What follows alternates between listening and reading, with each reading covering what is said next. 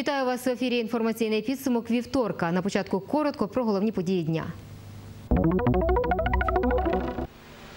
44-та сесія обласної ради не відбулася через відсутність кворуму.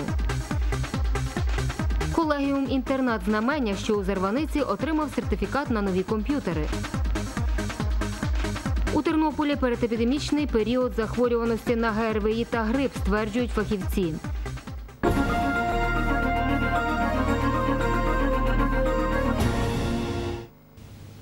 Тепер детально про ці та інші події. Децентралізація державного кошторису і цільове фінансування регіонів такі основні економічні кроки у реформі місцевого самоврядування, відзначив президент України Віктор Янукович.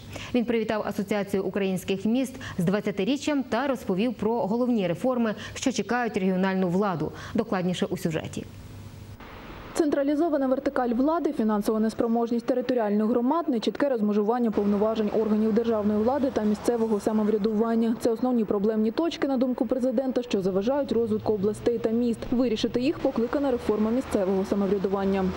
Реформа місцевого самоврядування передбачає забезпечення ефективного бюджетного процесу, упорядкування земельних відносин і реформування житлово-комунального господарства. Великі міста мають стати локомотивами економічного розвитку в регіонах. Малі міста точками нового економічного зростання. Проблемою з нестачею коштів вирішуватимуть, залучаючи інвестиції та спрямовуючи гроші насамперед на найбільш значимі об'єкти, пояснює Віктор Янукович. Загальне дотування органів місцевої влади змінить цільова допомога на конкретні проекти. Коштів у бюджеті на наступний рік має побільшити і через новий податок на нерухоме майно для громадян. За підрахунками, це додаткові 2-2,5 мільярди гривень у держкошторисі. Обіцяє президент і децентралізацію бюджетної системи України. Перш за все, ми збільшуємо частку податкових надходжень, яку мають отримувати міські бюджети. По-друге, ми маємо розробити більш прозору формулу розрахунків міжбюджетних трансфертів, дотацій і державного бюджету, виходячи з об'єктивних потреб місцевої влади. По-третє, ми будемо вдосконалювати нормативно-правову базу для залучення органами місцевого самоврядування позабюджетних коштів. Щоб реформа діяла, планують внести зміни до податкового та бюджетного кодексів. Чесних платників податків стимулюватимуть, а тих, хто ухиляється, контролюватиме місцева влада і відповідні відомства. Кошти спрямовуватимуть на реалізацію стратегічно важливих для регіону проєктів. Для реалізації стратегічних проєктів на місцевому рівні та проєктів міжрегіональної співпраці в Державному фонді регіонального розвитку на 2013 рік передбачено 3,5 мільярда гривень. Ці кошти отримують міста, які підготують чіткі і прозорі інвестиційні проєкти, покажуть, як ці проєкти вплинуть на їхній господарський та економічний розвиток. Також Віктор Янукович привітав асоціацію українських міст з 20-річчям та вручив її представникам державні нагороди. Потім мери міст мали можливість обговорити між собою запропоновані президентом реформи. Міжнародний день людей похилого віку цього року українці зустріли з підвищеною пенсією. Тепер щомісячні виплати для українських пенсіонерів зросли на 12 гривень. А підвищити виплати та встановити нові пільги ветеранам уряд обіцяє вже з 2013 року. Прем'єр-міністр України Микола Азаров під час зустрічі з представниками ветеранських організацій пообіцяв, що вже з 1 січня наступного року будуть встановлені пільги для інвалідів війни другої третьої груп, а також для учасників бойових дій у роки Великої вітчизняної війни, такі ж, як і для інвалідів першої групи. Разом із тим, уряд планує поступово протягом наступного року підвищувати мінімальний розмір пенсій для інвалідів війни першої групи. Він становитиме 2700 гривень. Ветеранів Великої вітчизняної війни урівняють. Уряд планує встановити однакові пільги для інвалідів війни першої, другої, третьої групи, а також всіх учасників бойових дій в роки Великої вітчизняної, які старше 85 років. Кабміні обіцяють, вже з наступного року всі ці категорії ветеранів отримуватимуть такі ж високі виплати, як інваліди першої групи Великої вітчизняної війни. Минимальный размер пенсии на протяжении 2013 года должен увеличиться для инвалида войны первой группы с 2519 гривен до 2700 гривен. Это плюс 182 гривны. Ну и так далее. Среднемесячный размер пенсионных выплат для инвалидов войны за этот же период должен увеличиться для первой группы с 3419 гривен до 3625 гривен. Із ветеранами прем'єр поговорив не лише про цифри, згадали про подвиги та патріотизм. Зокрема, Микола Заров попросив ветеранів частіше виступати перед молоддю, аби виховувати в них патріотизм.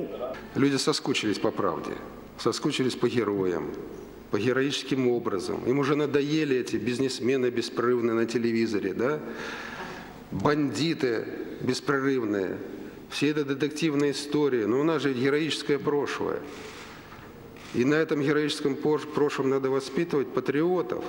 Самі ж герої просять прем'єра розібратися із справжністю сучасних ветеранів. Мовляв, у ветеранських списках більшість липові мають не справжні посвідчення і ніколи не бачили війни. Відтак, великі суми бюджетних грошей, що уряд виділяє для ветеранів, потрапляють в кишені шахраїв.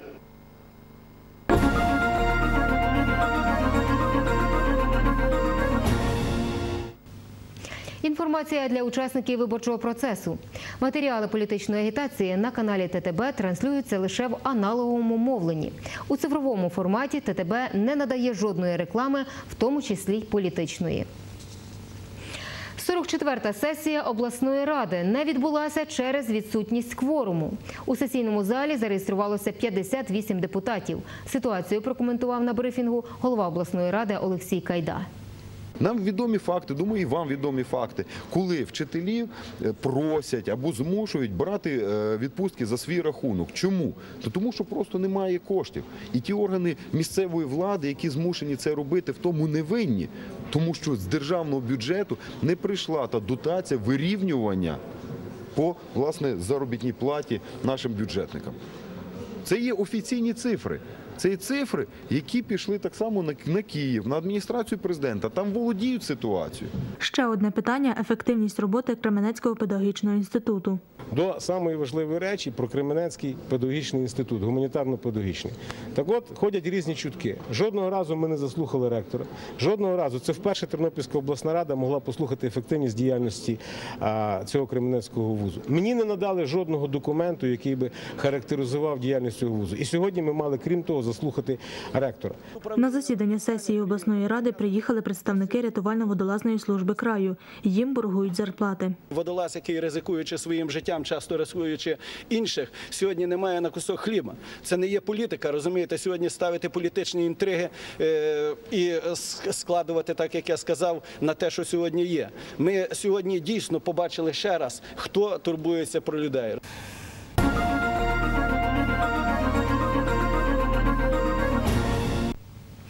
Тернопільська міська санепідемстанція повідомляє, що в обласному центрі передепідемічний період щодо захворюваності гострими респіраторними вірусними інфекціями та грипом.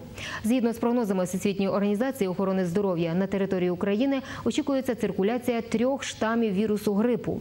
За минулий тиждень у Тернополі зареєстровано 878 випадків гострих вірусних інфекцій, з них 361 у дітей. За словами лікаря-епідеміолога Тернопільської міської санепідемстанції Світлани Маціпури, більшість хворих це діти до 14 років. Що й не дивно, адже діти найчутливіші до грипу і до гострих респіраторних вірусних інфекцій, бо мають ще не сформовану імунну систему. А в шкільних колективах і дитячих садочках контактують один з одним. Станом на сьогодні е, маємо інтенсивний показник, який складає 40 випадків на 10 тисяч населення. При орієнтовному розрахунковому е, показнику е, визначення початку епідемії 80,9 випадків на 10 тисяч населення. Існують різні точки зору на те, як уникнути грипу та гострих респіраторних вірусних інфекцій. Одні вважають, що найкращий вихід щеплення, інші переконані в ефективності вітамінізованого харчування і загартування. Довіряю лікарям. В першу чергу так. Ніколи сама не лікуюся. Вакцину ні. Вакцини ні. Ну, я знаю, чи вже багато сумнівів таких. Нас, знаєте, наслухаєшся того всього, які випадки бувають, то сумніваєшся. Ні, я переважно стара... ну, не хворію і лікарів по відношенню ну, не самолікування, народні методи, профілактика, тобто вживання багато фруктів, вітамінів. І так Але лікар- лікарі не рекомендують самолікування. Це не самолікування. Самолікування, моя думка, що це відноситься до придбання ліків та лікарств. А це народні, вони, думаю, вітаміни не пошкодять організму людини, зокрема мені. А щодо вакцинації? Ну, вакцинацію навіть не пам'ятаю, коли робив і не планую. Спочатку пробую е, сама якимись народними засобами, а потім вже стараюся лимон їсти, пити чаї такі на травах.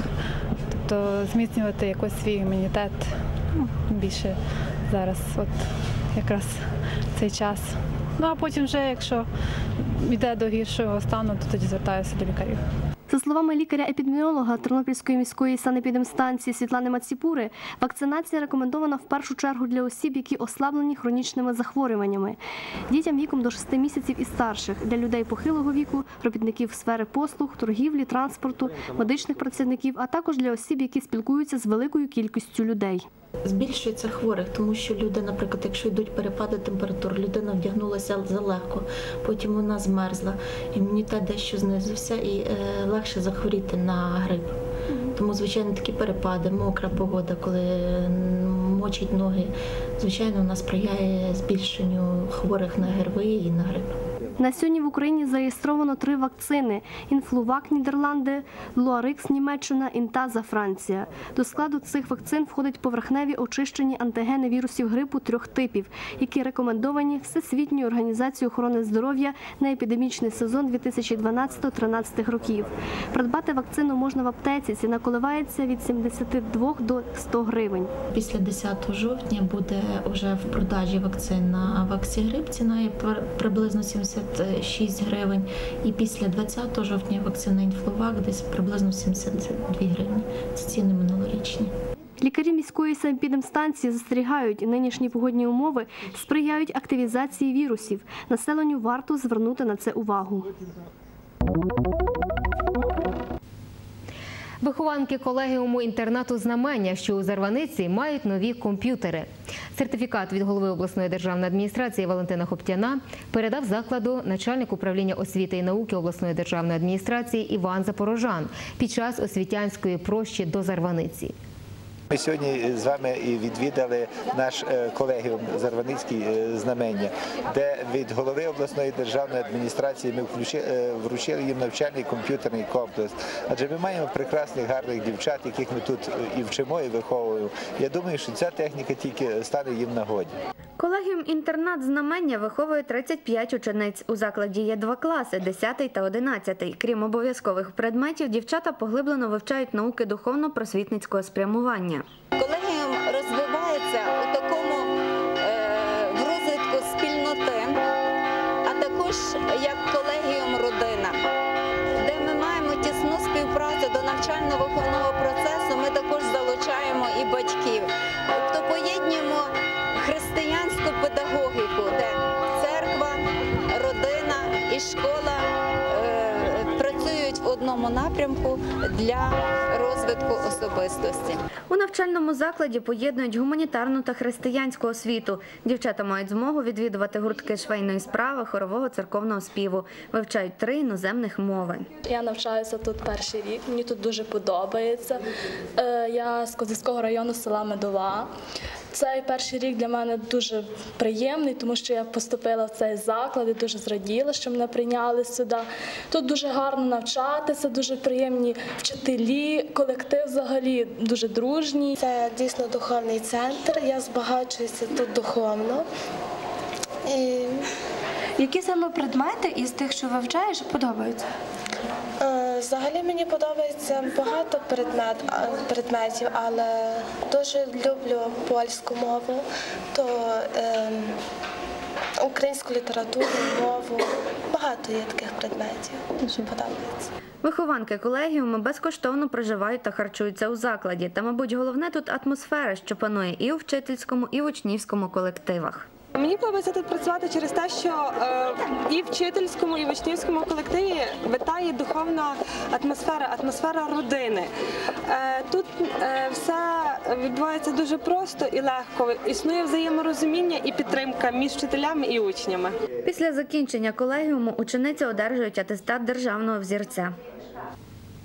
У Тернопільській школі номер 17 стало доброю традицією згадувати Василя Сухомлинського у день його народження. Про відзначення 94-ї річниці великого педагога у наступному репортажі. Колектив школи вшановує пам'ять великого письменника та педагога щорічно святковим дійством осінній засів любові і добра.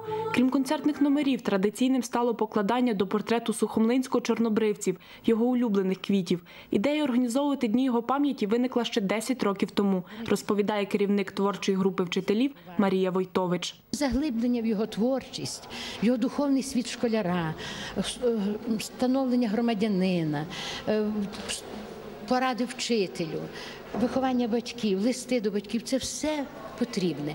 Для школи це особливе свято, адже протягом років вони втілюють педагогічні ідеї Сухомлинського у навчанні та вихованні. За його методикою вчителі працюють із учнями, і з батьками. Можна епіграфом сказати його слова. Відчуй, що біля тебе є людина, щоб ти побачив. Відчуй її душу, зрозумій її духовний світ. Це дуже важливо для кожної людини і для нас з вами в теперішній такий непростий час, в який ми живемо. Колектив школи запевняє, що це дає результати. Діти знають азбуку моральної культури засухом Сухомлинським. Він проповідує любов, він е, дає нам свій приклад, як себе поводити в тих чи інших ситуаціях. Е, Ніколи не творити зла, а бути завжди добрим до людей і в першу чергу поводити бути людиною. Учні школи шанують Василя Сухомлинського як педагога і письменника, адже для дітей він створив низку казок та оповідань. Мені подобаються твори Василя Сухомлинського, Сива волосинка, Моя мама найкраща е, і всі його різні пісні, вірші, твори. Він є для мене ідеалом, е, взірцем. Він вчить нас добрих вчинків, щоб ми були добрими людьми. Я його поважаю як педагога. Міжнародний день людей похилого віку відзначили у благодійному фонді Карітас. З нагоди Дня людей похилого віку та в рамках проекту Домашня опіка благодійний фонд Карітас пригостив обідом своїх підопічних. На жаль, зазначив генеральний директор Тернопільського благодійного фонду Карітас отець Андрій Марчук, відвідати гостину не змогли усі запрошені через стан здоров'я. Побажати вам міцного, міцного здоров'я, Божого благословення на ваше життя. Щоб ви не сумували, що ви є одинокі, бо ви направду не є одинокі. Перш за все, ви є з Богом. А друга річ, ви є з тими людьми, хто вас доглядає. Одинока людина ніколи не буває. Я думаю, що довкола вас і що довкола вашого життя є добрі обставини. І що нема ще на що нарікати. Проект Домашня опіка працює уже понад 12 років у місті Тернополі. Саме завдяки ньому працівники організації мають змогу надавати різні види послуг 54 літнім особам. Ми надаємо соціально-побутові, частково медичні послуги, е, по дому допомагаємо, також е, психологічну і духовну підтримку. Медичним працівникам за турботу про її двох старших сестер подякувала Віра Зарихта. Жінка вдячна за те, що вони допомагають як морально, так і лікам, які є дуже потрібні. Я вдячна за те, що ті діти приходять і ну, цікавляться, як життя проходить в тих людей старших. Бо в мене сестра стар, е, дві старших сестри.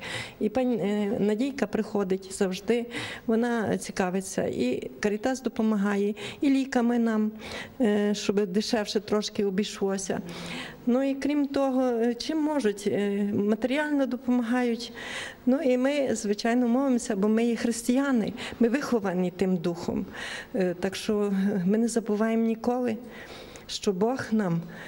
Один є Бог на світі, і Він нас підтримує. Чим просимо, тим якось нам допомога приходить. Допомога одиноким людям похилого віку є вкрай потрібна. Її вони отримують і завдяки працівникам благодійного фонду Карітас. 2 жовтня Всесвітній день захисту тварин, який заснований для того, аби звернути увагу людства на проблеми домашніх улюбленців. Тему продовжує Ірина Демчук. Проблема бездомних тварин існує в Україні вже досить давно. За словами доцентра кафедри міжнародної економіки і маркетингу Тернопільського інституту соціальних технологій Олени Дейнеки, кількість безпритульних собак не зареєстрована, хоча існує притулок для цих тварин. Громадська організація намагається знову ж таки перевести частково е, утримання коштів на е, так званий дичків. Це, до речі, це не притулок, хотіла би зразу сказати, це центр е, тимчасової перетримки тварин після стерилізації.